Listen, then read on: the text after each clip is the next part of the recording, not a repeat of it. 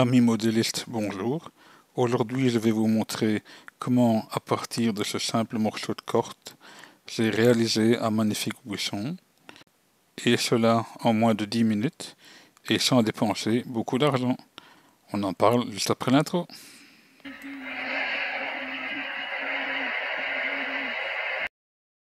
Une belle végétation sur un réseau donne toujours beaucoup de réalisme.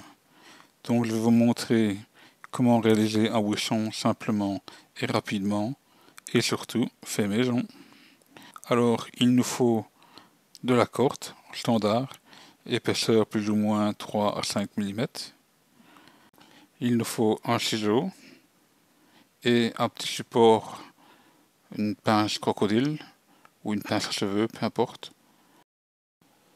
Il faut couper des petits morceaux de corde d'à peu près 3 cm.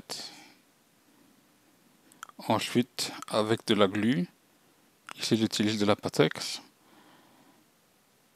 on va mettre de la colle sur le bout de la corde. Cela sera beaucoup plus simple pour fixer le buisson sur votre réseau, mais aussi la corde ne se défera pas. Si vous voulez que la colle soit encore plus vite euh, sec, vous pouvez également utiliser de la superglue, c'est comme vous voulez. Là, j'ai mis à peu près un centimètre de colle, peut-être un petit peu moins. Et je vais la placer directement dans ma pince crocodile avec le support ananas. Soit vous pouvez attendre que ce soit sec. Ici, avec la pince crocodile, la corde est bien maintenue. Donc, on va commencer à dénuder la corde. Il faut bien dénuder toute la corde, tous les filaments de corde pour avoir le maximum de, branches, on va dire, pour notre buisson. Je vous conseille de le dénuder le plus large possible, bien sûr tout en gardant une forme de buisson raisonnable. Ce qui est bien avec cette technique de corde, on peut faire des buissons de toutes tailles différentes, de formes différentes, aucun ne va se ressembler. Ah oui, je tenais à préciser, je n'ai rien inventé du tout. Euh, cette technique, c'est un membre du club dont je suis membre qui me l'a montré. Encore merci à Pete. Et j'avais tellement trouvé cela formidable que j'avais envie de partager cela avec vous en faisant cette petite vidéo. J'espère que cela vous plaira.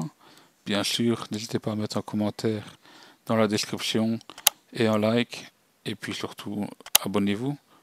Cela me motive et surtout, vous serez informé des prochaines vidéos. Voilà, donc là, on a notre euh, bout de corde qui prend forme. Vous lui donnez la forme que vous voulez. Et ensuite, on va passer au flocage. Donc là, j'utilise un pot de flocage de 4,5 mm que j'avais en trop. Et on va procéder comme sur euh, notre réseau. On va secouer notre flocage avec du courant électrostatique. Donc tout d'abord, il va falloir mettre de la colle en spray. Là, j'utilise la colle en spray de Nord, mais vous pouvez utiliser celle euh, du commerce, la UU ou peu importe, Patex. Euh, dans tous les magasins de bricolage, vous l'en trouverez. Bien mettre de la colle sur notre morceau de corde. Ensuite, on va brancher notre euh, Nord Master, là pareil, un outil électrostatique suffit. Et on va secouer notre flocage sur le bout de corde. Cela va lui donner plus, euh, plus de filaments, mais aussi beaucoup plus de volume. Euh, on va dire que les on va dire que les flocages donnent l'aspect de, des petites branches de notre buisson. N'oubliez pas d'en mettre sur le côté et bien sur les extrémités. Si par hasard vous trouvez qu'il n'y en a pas assez, n'hésitez pas à le secouer et remettre une fois une couche de, colle et de recommencer. Donc voici à peu près le résultat qu'on doit avoir. Euh, bien garni, pas de trop, mais voilà. Vous voyez que le flocage donne un bel aspect. Et comme les bouchons dans la nature ne sont pas blancs ni verts, on va le mettre en couleur, en brun. Là, j'utilise de la couleur de Nord, mais encore une fois, vous pouvez utiliser n'importe quelle couleur en spray. Là, j'utilise de la brun, brun, brun clair. Ne pas mettre trop de couleur directement. Mieux repasser une deuxième fois pour pas que les filaments de la corde ni les flocages soient collés un à l'autre. Donc oui, prenez votre temps. Et n'oubliez surtout pas de mettre un petit coup de spray par en dessous. Vous voyez, je suis à peu près à 30 cm quand je mets la couleur. Une belle petite finition. Et voilà le résultat après à peine 5 minutes. Notre bouchon prend forme. Vous voyez, jusqu'à maintenant, rien de très compliqué. Et surtout fait avec du matériel que tout le monde a à peu près à la maison. Peut-être pas la bombe en spray, mais ça, ça se trouve à peu près partout. Bien sûr, si vous avez une idée ou une remarque à faire, n'hésitez pas à mettre un commentaire dans la description. Je me ferai un plaisir de vous lire. Bon, maintenant on continue. Dernière ligne droite. On va mettre du flocage sur notre buisson qui est un peu dénudé. On va lui ajouter des feuilles. Pour cela, j'utilise du Eki qui est un feuillage vert moyen. Comme tout à l'heure, on va utiliser notre bombe spray de la marque Nord.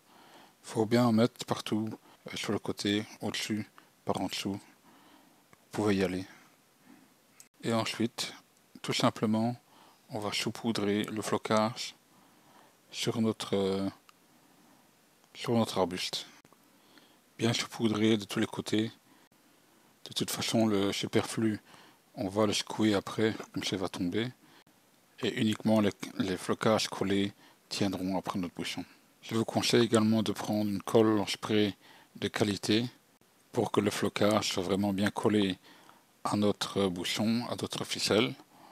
De préférence une colle en spray transparente, comme ça on ne verra rien du tout.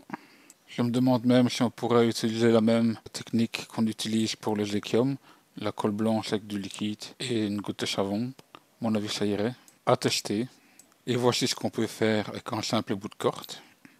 En moins de 7 minutes 40, on a notre petit bouchon bien détaillé.